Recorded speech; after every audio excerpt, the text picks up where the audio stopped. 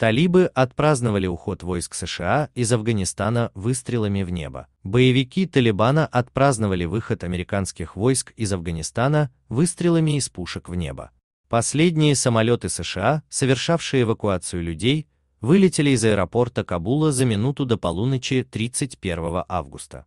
Об этом сообщает РБК Украина со ссылкой на Associated Press. Официальный представитель Талибана Забихула Муджахид заявил, что теперь страна находится полностью под их контролем.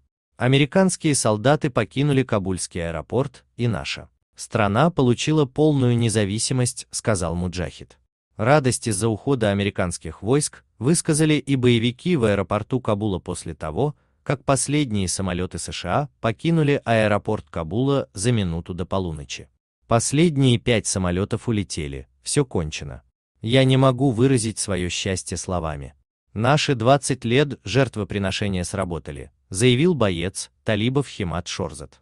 После ухода американских войск Талибан контролирует весь Афганистан, за исключением горной провинции Паншер. Там несколько тысяч местных боевиков и остатки разрушенных сил безопасности Афганистана пообещали оказать им сопротивление. Талибан заявляет, что ищет там мирное решение. Напомним, что в полночь 31 августа войска США официально покинули Афганистан. Теперь аэропорт в Кабуле и всю страну контролируют боевики радикального движения Талибан.